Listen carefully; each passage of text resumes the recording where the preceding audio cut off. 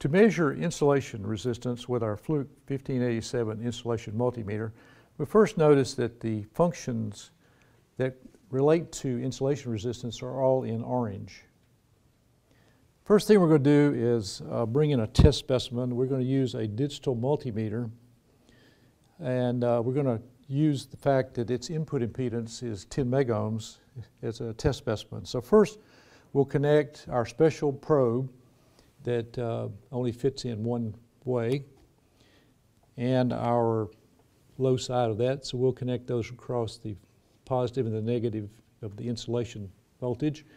And then we will rotate our selector knob to the orange insulation test voltages. And at this point, we can select a test voltage by pushing the test voltage button.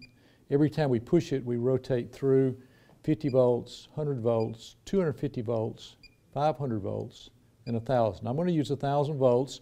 And now we're ready to do our test. And I'll press the test button, and you'll see it apply, in this case, 1,052 volts, and read 10.0 megohms. Uh, keep in mind that insulation resistance values uh, vary with temperature and humidity. And that's how we measure insulation resistance with our Fluke 1587 multimeter.